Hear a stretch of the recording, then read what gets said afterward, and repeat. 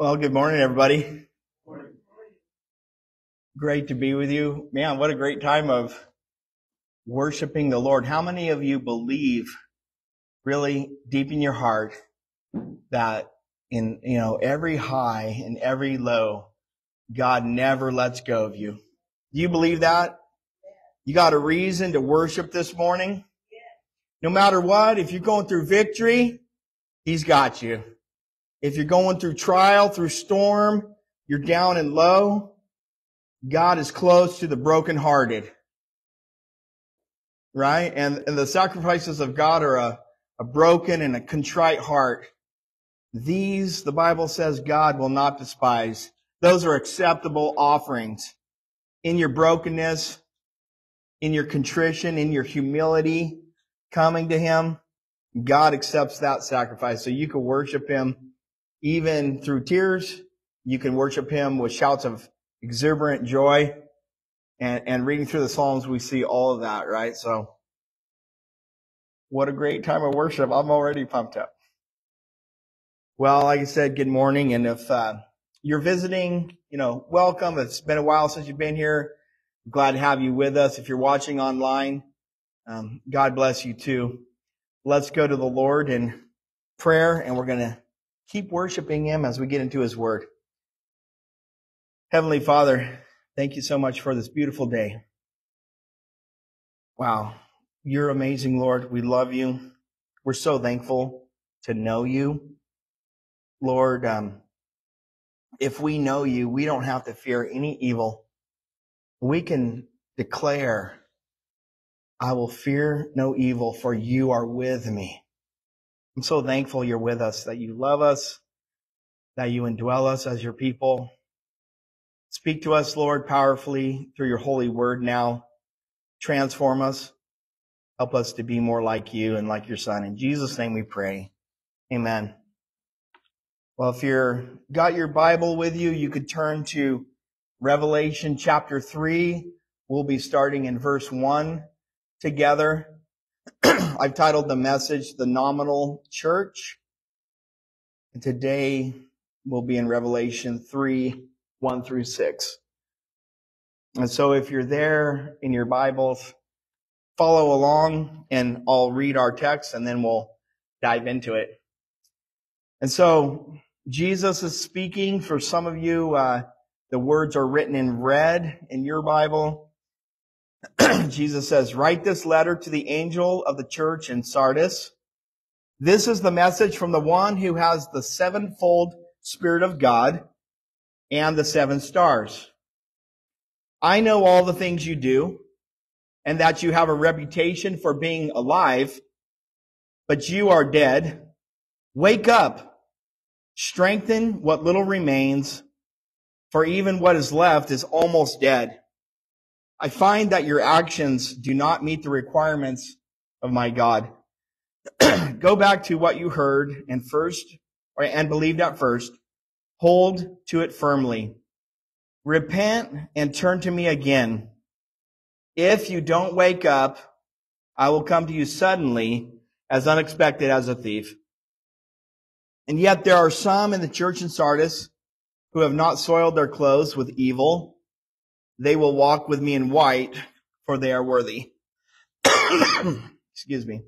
All who are victorious will be clothed in white. I will never erase their names from the book of life, but I will announce before my Father and his angels that they are mine. Anyone with ears to hear must listen to the Spirit and understand what he is saying to the churches. And so this is the fifth letter that Jesus speaks to the churches in Asia in his revelation to the apostle John. In speaking to Sardis here in chapter three, Jesus addresses them as the one who has the sevenfold spirit of God and the seven stars. And so in using this title, we're reminded that true Christian life in the church can only be lived and, and experienced in the power and the indwelling of the Holy Spirit. as Paul wrote to the church in Rome about life ruled by the Spirit. And he wrote to them, he said, People who are ruled by their desires think only of themselves. Every, and as I read through this, notice how many times the apostle Paul uh, refers to the Holy Spirit, and he talks about this idea of either being dead or being alive. and so he says, people who are ruled by their desires think only of themselves. Everyone who is ruled by the Holy Spirit thinks about spiritual things. If our minds are ruled by our desires, we will die. But if our minds are ruled by the Spirit, we will live, we will have life and peace. Our desires fight against God because they do not and cannot obey God's laws. If we follow our desires, we cannot please God. But he says, you, speaking to Christians, are no longer ruled by your desires, but by God's Spirit who lives in you. People who don't have the Spirit of Christ in them, they don't belong to Him. But Christ lives in you. And so you are alive because God has accepted you, even though your bodies must die because of your sins. Yet God raised Jesus to life and God's Spirit now lives in you and He will raise you to life by His Spirit. My dear friends, we must not live to satisfy our desires. If you do, you will die. But you will live if, by the help of God's Spirit, you say no to your desires. Only those people who are led by God's Spirit are His children. And so as we start out here, we need to keep in mind that only true life in the church is, is a result of the Holy Spirit within us. It's not something that we bring to the table and we generate on our own. The life that we're talking about is, comes according to the Spirit and by the Spirit. In the New King James Version, Jesus tells us that the church in Sardis, in verse 1 of Revelation 3, it says, I know your works, that you have a name, that you are alive, but you are dead. Maybe they were known as New Life Christian Church of Sardis. That's a good name for a church. At least that's what the logo on all their t-shirts and their caps advertised. New Life Christian Church, Sardis. You see, they had a name that suggested life. They had a reputation for being alive. But Jesus knew that reputation was purely nominal, meaning existing in name only. That's what nominal means. Existing in name only. We've had a fish fry for four years now at Oasis of Hope Church. But for the first three years, guess what? We didn't actually fry any fish. And this has always made me nervous.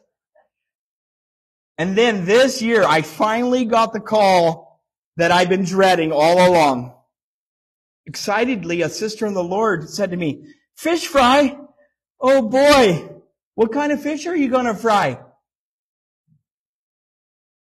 To which I had to apologize. I'm sorry. That's a misnomer. We don't actually fry any fish. We bake it, we grill it, and we smoke it, but none of it is fried. She was so disappointed. You see, our fish fry was nominal. It was in name only. But I'm happy to report that after that phone call, as a church, we all repented and deep fried both catfish and cod to the delight of all our guests. And it was delicious. And by the way, that lady, this is, this was the clencher. And she said, when I said, I'm sorry, we actually don't fry any fish. She says, Oh, all those men have died and gone to heaven.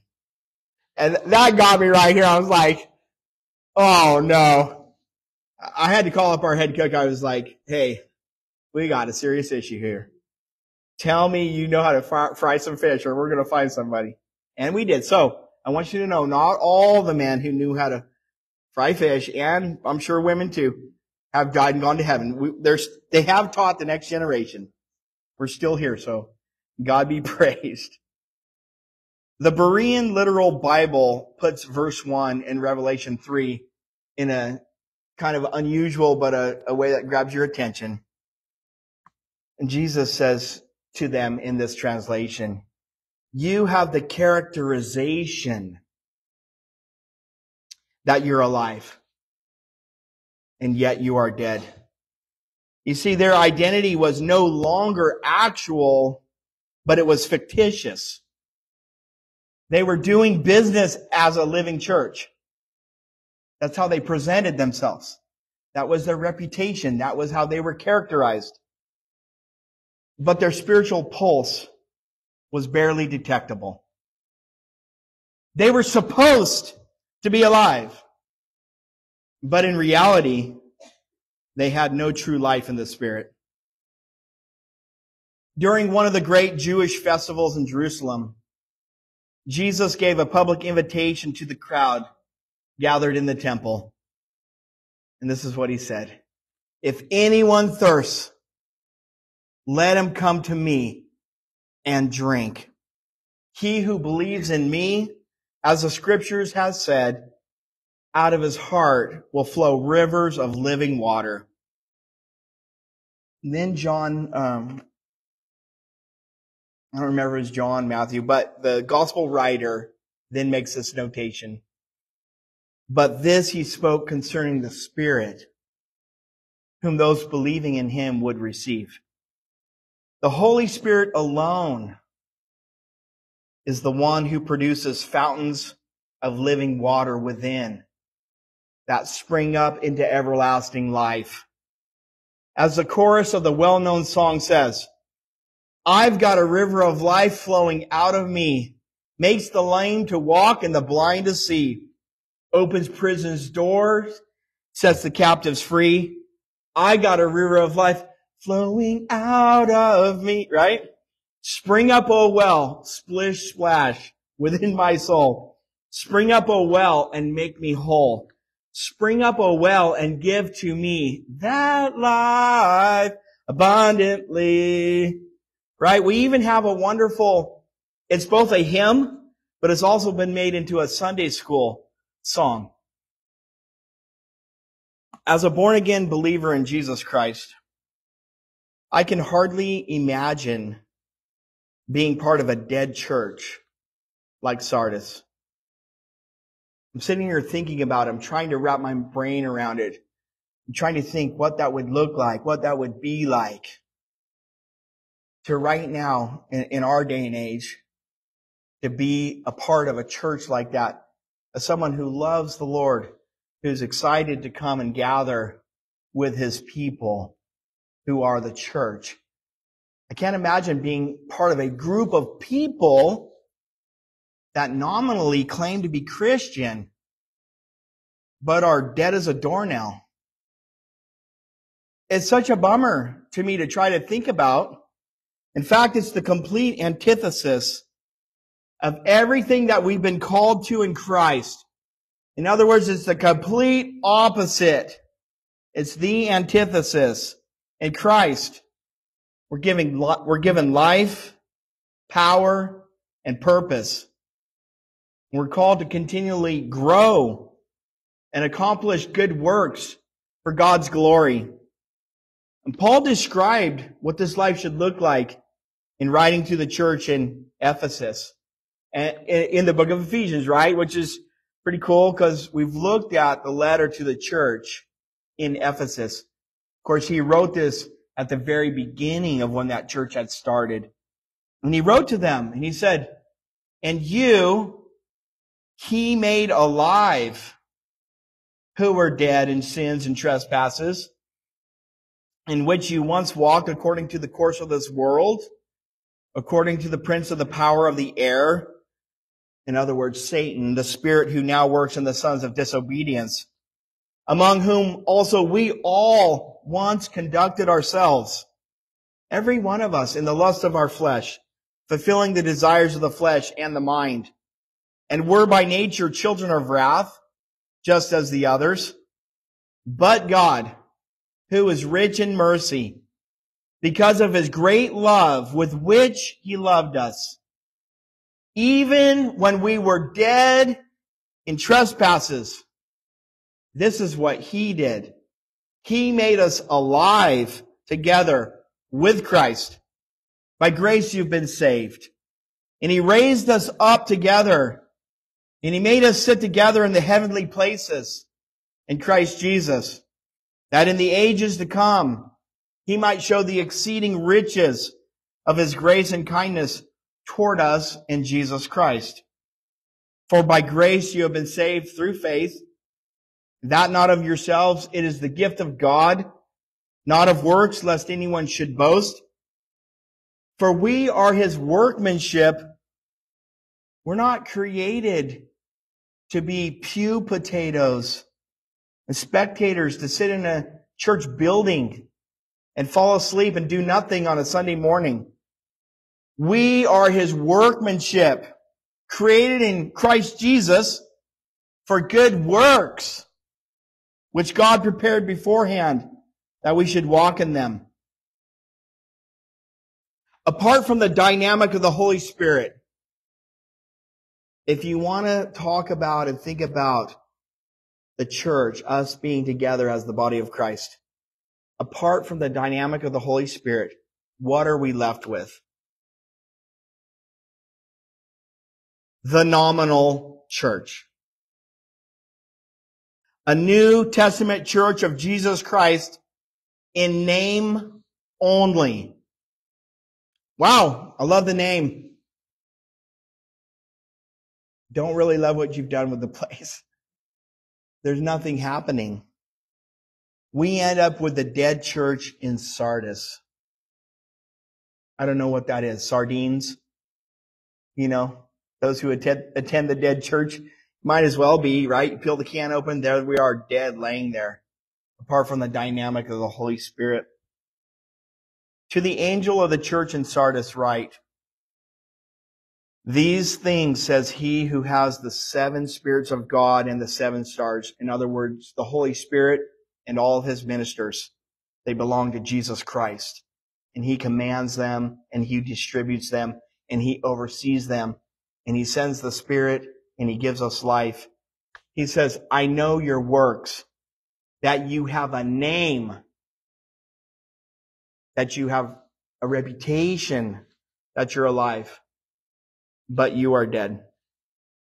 And so what do you say to a church that's basically dead?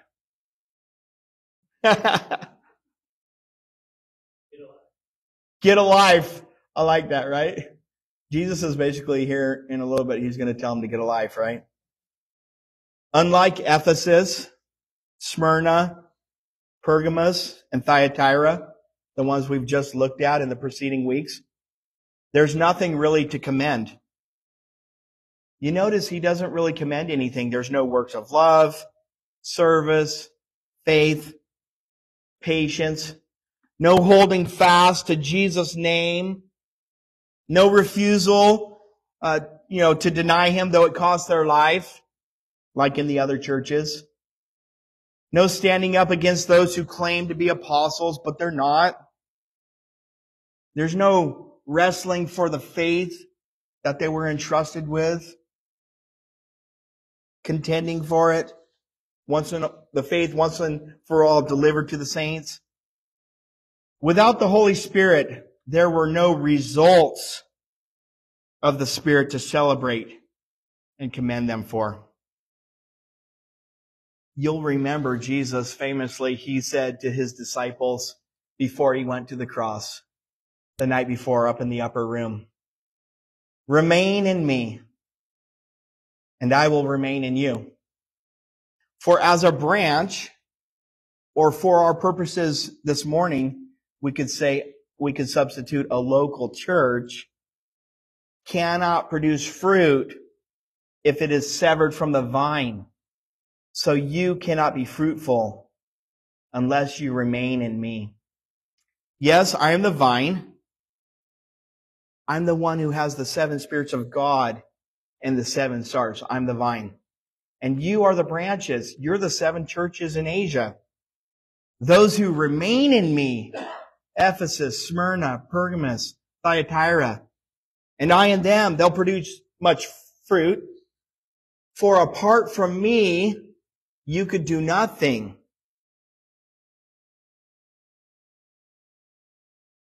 And just as there was nothing to command, there was none of these great works. They weren't producing fruit any longer. The church uh, in Sardis, they, they had no heresies that needed correcting either. Because there wasn't even enough life to produce them. See, you actually have to have life to do good or bad. It's kind of funny in the Old Testament, the Lord is, like in Isaiah, He's mocking the other idols and gods who are not gods. They're just, they're nothing. They're false idols. And, He's, you know, the prophet is mocking and he's saying, do something, do good, do bad, do anything, sneeze, cough, jump up and down, raise your voice. Open your eyes. He's like, see, they're nothing. They can't see, they can't hear, they can't speak. They're deaf, dumb, and blind. And all those who follow them become like them. Right? You have to have life to either do good or evil. And so here in this church, this church is almost completely dead. There's nothing to commend and there's actually nothing even to criticize because they're just laying there almost dead. They can't even do bad. Bible commentator and preacher Maclaren writes, it had no immoralities. The gross corruptions of some in Pergamum had no parallel there. Philadelphia had none. It didn't have any of these immoralities or corruptions because it kept close to its Lord.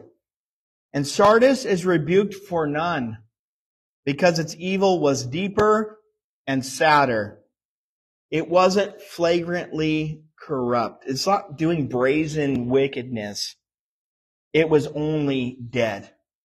You see, it wasn't brazenly evil. It just did nothing. It couldn't even do wrong. Of course, it had no persecutions. Faithful Smyrna had tribulation unto death, hanging like a thundercloud overhead, and Philadelphia, beloved of the Lord, was drawing near its hour of trial. But Sardis had not life enough to be obnoxious. Maclaren says they couldn't even just simply be obnoxious. Why should the world trouble itself about a dead church? You think the world cares about a dead church? There's nothing to fear. There's nothing to even argue with, right? It exactly answers the world's purpose and is really only a bit of the world under another name. There's no conflict. It is all sum, summed up in that judgment pronounced by him who knows its works. Thou hast a name that thou livest and art dead. This is the pronouncement of Jesus against the church in Sardis. But the Lord doesn't mean it in its, its uh, fullest, complete sense that they're dead. If they were entirely dead, Jesus wouldn't waste his time exhorting them to repentance as he's about to do. He would deliver their eulogy. If someone's laying in the casket, you don't exhort them to do anything. You eulogize them. You don't say, hey, you better all those chances are gone. And so when Jesus says they're dead, they're not completely, they're like almost there. He's like warning them. right? And that's the whole reason he speaks to them because there's still a tiny chance, a little bit of life. It's not a funeral. This is a call to revival. Right? You revive that which once had life and still has the opportunity. There's a possibility that it could come back to life. And so, verse two, that's why he says, wake up. Strengthen what remains and is about to die. For I have found your deeds unfinished in the sight of my God. Remember therefore what you have received and heard. Hold it fast and repent. But if you do not wake up, if you don't respond, if you don't repent, I will come like a thief, and you will not know at what time I will come to you. If someone is coming to you as a thief, they are not your friend. your friends don't come like, you better have your cameras on. You better be watching your ring. Because when you least suspect it, I will rip you off. I'm coming to you as a thief. Right? So Jesus is warning them right now. I, I'm exhorting you. I'm speaking to you. I'm saying repent. If you don't, I will come as your enemy. The thief is the enemy. And so Jesus is warning them, I will have to come to you in judgment if you don't turn this around, if you don't repent, if you don't correct it. On the evening of the resurrection of the Lord Jesus, the disciples were gathered together, you remember, behind locked doors because they were afraid of all the Jewish authorities. Right? They just put their Lord to death. And then Jesus came and stood among them. Peace be with you, he said. After saying this, he showed them his hands and his side. And the disciples were filled with joy at seeing the Lord. And Jesus said to them again, Peace be with you. As the Father sent me, so I send you. Then he, he breathed on them and said, Receive the Holy Spirit. Here in Revelation 3, Jesus is willing and he's able and he's wanting to perform CPR on the church in Sardis. He wants to put his lips to their mouth. He's urging them to receive the breath of life that he would breathe into them by the Holy Spirit. The question is, but are they willing and wanting to repent and receive the Lord's resuscitation and be revived to life again? Once upon a time, we shouldn't forget that Sardis, they had been a vibrant, spirit filled, spirit controlled church in love with Jesus, connected to the vine, producing all kinds of good fruit to the glory of God. That's where they got their original name. They had a, but now they had a name that they were still alive. See, they were living on a leftover reputation for being vibrant and relevant to their community. At one time, they had been all of those things. That's what makes it really sad here with Sardis. It's not that they just made this reputation up, right? That they were, it was a false reputation. It was an old, it was a leftover. It was the good old days, the bygone days when they really had people passionate, committed, filled with the Holy Spirit, engaged, doing wonderful things. That's how they got that name. But now, you see, it didn't correspond, their, their current condition had no correspondence with, you know, what was going on with, with that name. Now, through compromise, through complacency, through allowing the cares of this world and the deceitfulness of riches to choke the word and cause them to become unfruitful. Whatever the case might have been, neglect, sin, compromise, corruption, whatever it was, they were now on the brink of death. And they were laying there basically on the ground with their DNR bracelet with a choice to make. Would they repent and receive the resuscitation of the Holy Spirit or refuse and force the Lord's judgment upon themselves? Do you know any nominal Christians? They're Christians in name only. I'm a Christian. Fellow believers who once were so full of life and joy in the Holy Spirit, but now you look at them and they're dull and they're lifeless. They're totally controlled by their own desires. Doesn't it make you sad? Don't you want to just shake them from their sleep? Grab them and shake them up, wake them up from their apathy. Maybe give them a hard, right? You see, you know, you see the movies are like, cry, wake up. Can you hear me? Please come back to life. And by God's grace, don't you want to breathe life back into them by the power of the Holy Spirit? And if you've ever tried to, how many have experienced stubborn resistance? As they hold up their spiritual do not resuscitate bracelet in your face, they're like, I've read the whole Bible. I don't have to go to church to be a Christian. I don't need you preaching to me. Don't resuscitate me. It's like they're warding you off. I don't, I don't want all that church stuff. You know, I've been to church. I know all the stories. I'm good. I'm not dead. Etc., etc., etc. They're acting like you're preaching to the choir, but I'm going to tell you they're not in the choir. Maybe once upon a time they were in the choir. They're not in the choir. Well, thankfully, not everyone had quenched the spirit in the church in Sardis. The Lord still had a faithful remnant. And the Bible teaches that no matter what, because God is faithful, God says, I will have a remnant.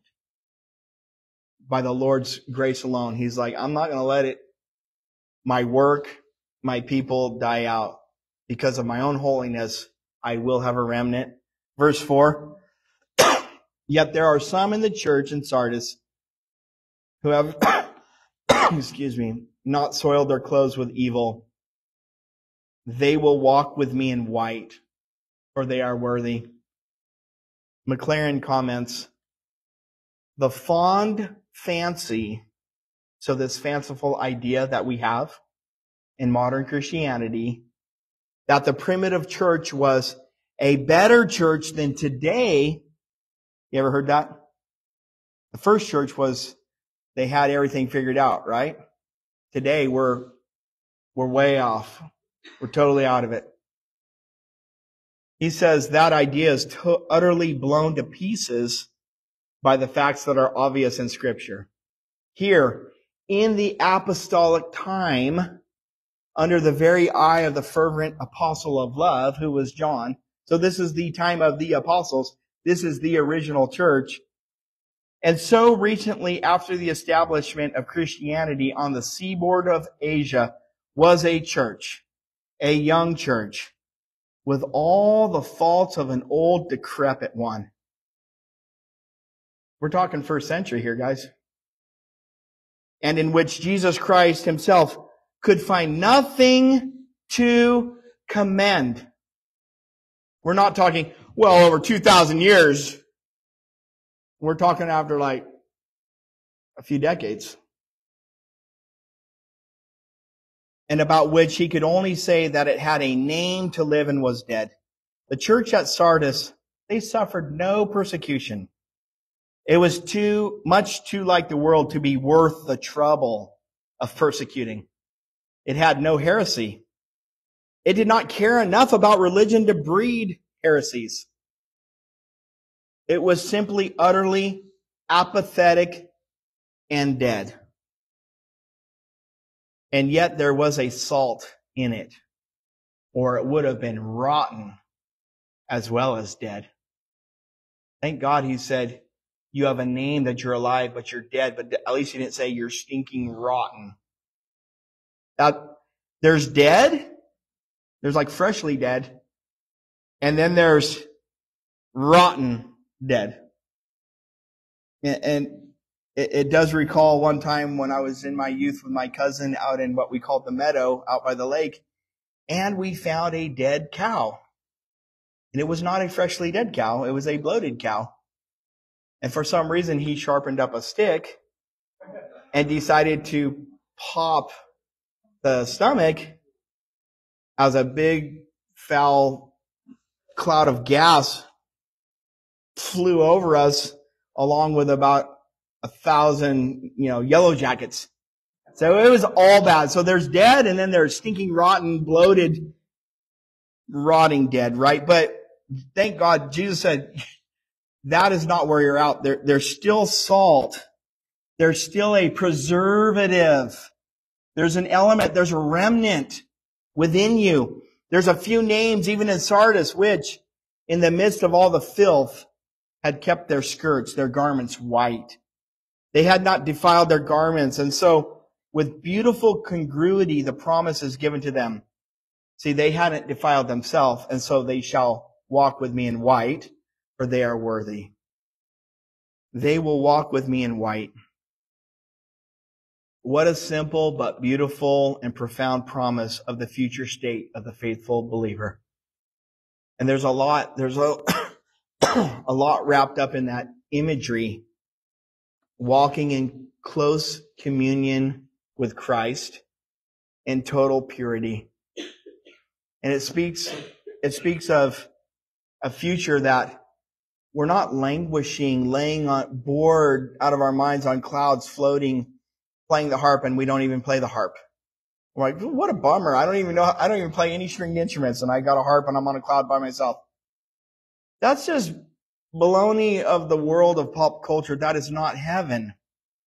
The Bible speaks of walking with Jesus, the creator of the universe, side by side with him, and if you're walking with him, you're going somewhere. If you're going somewhere, it's like, we got places to go, people to see, things to do.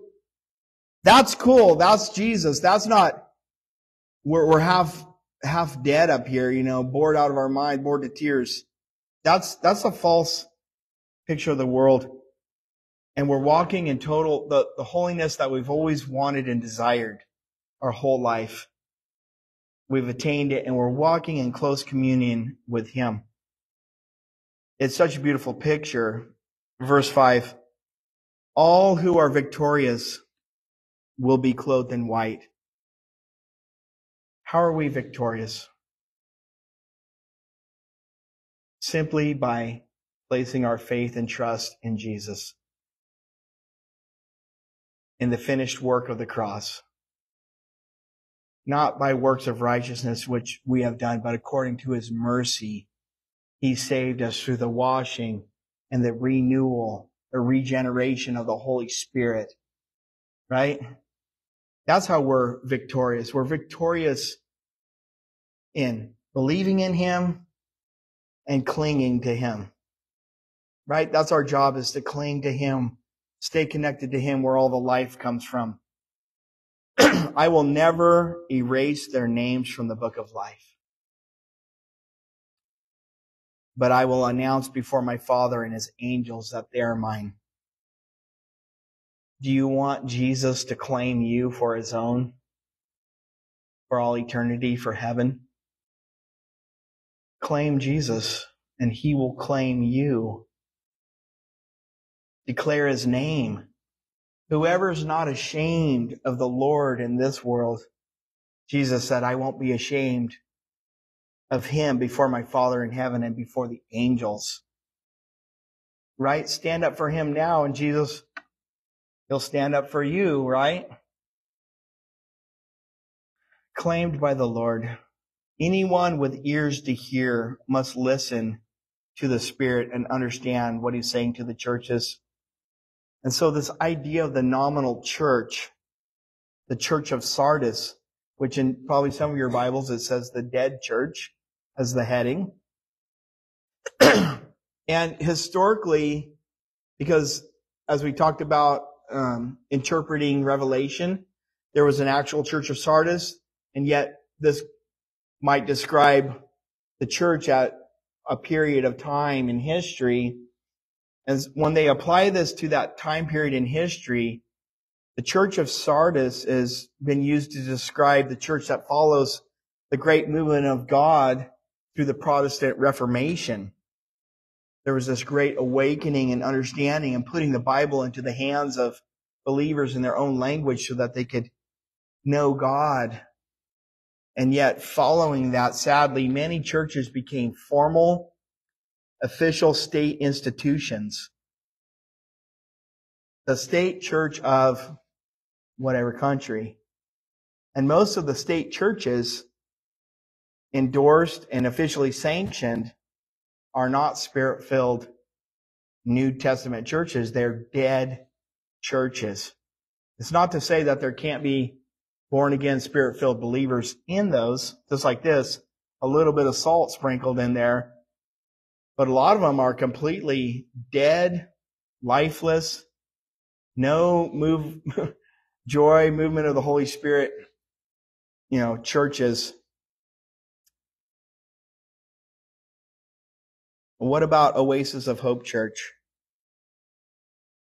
That's what we need to ask ourselves. That's our name, so to speak, right?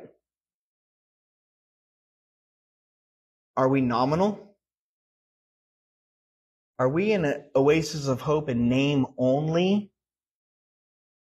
Or are we truly an oasis of hope, a place of refreshment for the soul of people thirsting and hungering for God? As long as we preach Jesus Christ and Him crucified and buried and resurrected and returning in power and glory for judgment, will remain an oasis of hope as long as we preach the power and the presence and the indwelling of the Holy Spirit in the life of the believer to overcome sin and to bear good, bear good fruit and to grow into the image of Christ will be more than nominal. We will truly be an oasis of hope. As long as we're going into all the world and making disciples, of all the nations, baptizing them in the name of the Father and the Son of the Holy Spirit, teaching the people that we baptize to obey everything that Jesus taught us, right? All of his commands to obey them. As long as we're lit, loving God supremely and others with the same kind of love and care that we show to ourselves. You, you get the idea, right? And so, it's a great challenge to think about so, you know, you think about whether it's this church or some other church, it has a great name, a great name in the community. They've been a light. They've been a bastion. They've been a place for people to come to. They've been alive and full of vibrancy. But it's a day by day walk with the Lord. You know, and there's, there's no grandchildren in the Lord. There's only children. So it's generation by generation, right? Because it's been said that the church is only one generation from extinction. In other words, if every one of us refused, you know, to preach the gospel and do all the things we're commanded to do, you know, theoretically, right, the church could die with us if we all clammed up and we all put on our DNR bracelets, don't resuscitate me. Don't bring me any conviction. Don't, you know, and we all quench the spirit. Then who's going to preach the message to the next generation? And so, you know, this is, it's quite a sad picture here of this church that had, had a name. They had a reputation. They had been vibrant. They had had good works. They had done all these things, but not anymore. And, and it's like if someone's dying, you don't scold them for bad behavior. You either give them the 911, you know, emergency treatment or they die. And so there's nothing to, it's a life or death situation. And that's what he's saying. He goes, you guys are on the brink of dying here. But what I want to say to us is that the real dynamic of the church is only in the Holy Spirit himself. We're washed in the blood. We believe in Christ. He gives us his spirit. He indwells us. He empowers us. And are we, are we taking that, you know, seriously? And are we trying to go as deep as we can? Are we using the power of the Holy Spirit to overcome all the evil that is inside of us? And you know, it's a joy to do that, by the way. It's a privilege to have the power to overcome sin, addictions, you know, all these, all these things, the ways of the world, our own evil flesh. We have that, we have that privilege and we have that power, right? When Christ went to the cross, died and resurrected, he broke the power of sin. He broke the penalty of sin. One day when we're dressed in white and we're walking in those white robes with Jesus, we'll be delivered from the very presence of sin.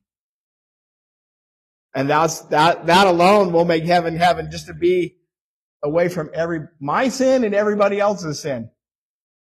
You know, just my own, your own sin is enough of a torture and, and then to get away from everybody else's.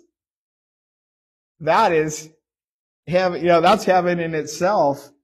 But the dynamic of the Holy Spirit, that's where the New Testament church is going to get its life. That's where you have a real name. You don't just have a name that you're alive. You are alive. If the Spirit who rose Jesus Christ, resurrected him from the dead, lives in you and lives in me, he'll give life to us, to our mortal body and to our spirits. And that's the kind of life, right? That, that, that's what's exciting.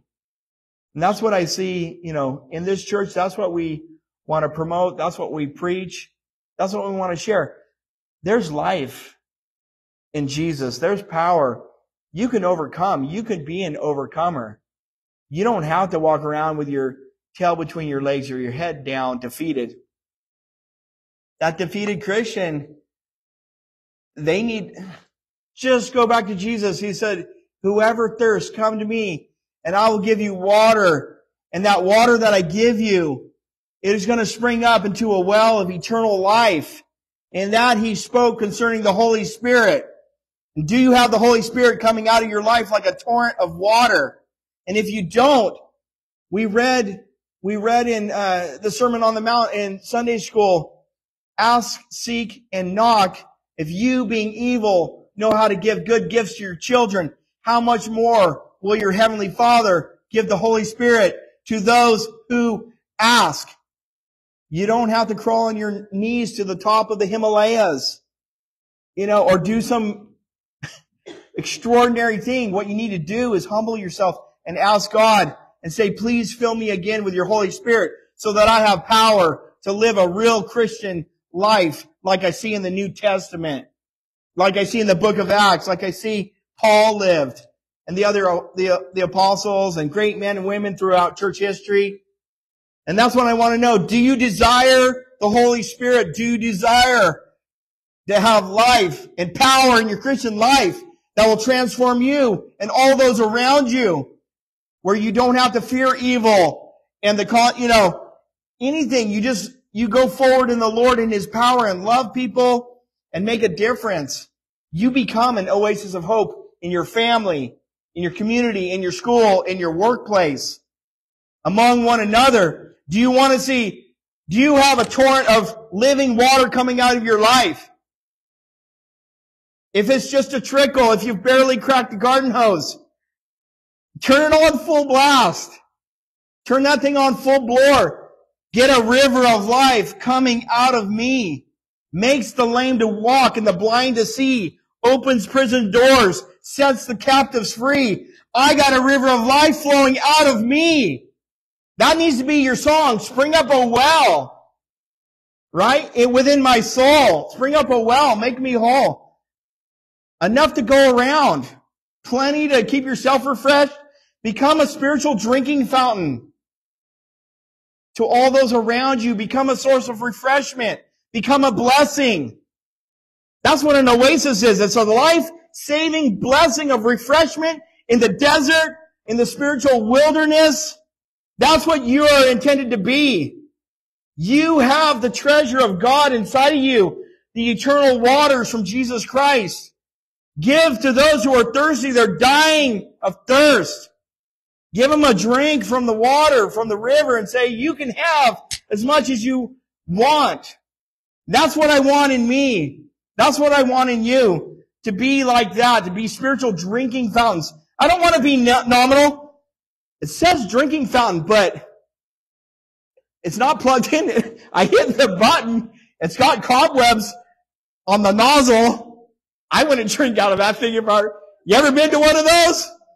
You're like, I wouldn't drink out of that, you know, if I was dying of thirst. I might die of hepatitis or something. That is not an oasis of hope. Cobwebs, beat up, dented. You're out there playing basketball on the, on the court. You're like, oh, oh, there's a drinking fountain. You're like, bummer, right? No, be like one of those ones, man, when it's plugged in, it's like 108 outside. You hit the button, it flies up and splashes up, but you don't care. It's ice cold, clean, pure water of refreshment. That's what God wants us to be as the New Testament church. Joseph, if you would come up and close us in worship. Worship team.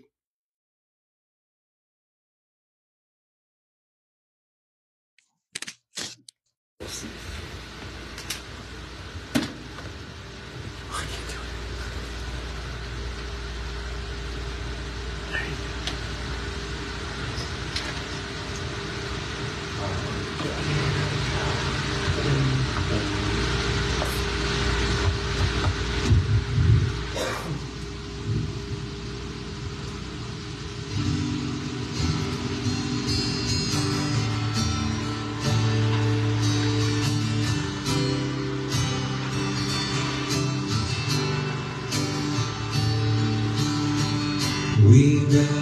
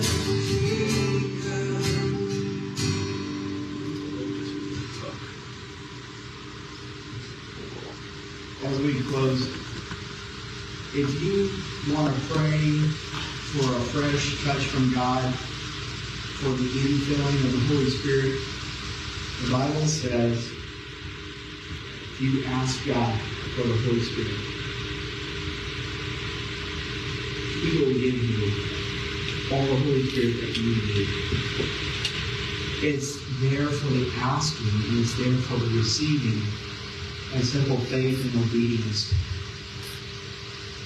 And if you've been living a nominal Christian life or a somewhat nominal Christian life, and you want that fresh power and fresh filling, don't leave this place. We don't just preach sermons so that we can preach sermons to try to fill a slot, you know, a time space or take up space on the cloud or something and upload it to YouTube. We don't care about that. We teach it because we believe it. And we want to experience it and live it. And I want to tell you there's nothing like it when you live in the power and the presence of the Holy Spirit in the reality. There's nothing like it in the world. That's what satisfies the soul, and that's what we need, and that's what others need. So I just want to strongly encourage you, the Holy Spirit, the Lord speaking to your heart. I don't care if you've been a Christian for one day or 90 years. If the Lord's speaking to you, you know, now is the time to respond. Let's be that generation, the generation that seeks his face. You know, the God of Jacob. And so don't leave this place. Don't rush off. Your food will still be there, your chores and all your problems. But if you're filled with the Holy Spirit, you'll have a greater capacity to enjoy And to overcome and to take care of all those things and to be a blessing to them. So let's close in prayer. Holy Lord, thank you for your word. Thank you, Jesus, that you love us and the church enough to speak to us the truth. And there's always there's hope, God. If there's a little bit of life, there's hope in you. You you can fan it back into flame. You can you can stoke the flame Lord, and, and, and get us back to where we need to be. Whoever has ears to hear, let them hear what the Spirit says to the churches. And uh, Lord, we want to have ears to hear and respond to anything you have us do. We love you, Lord, and, and thank you for your word. In Jesus' name, amen. God bless each of you.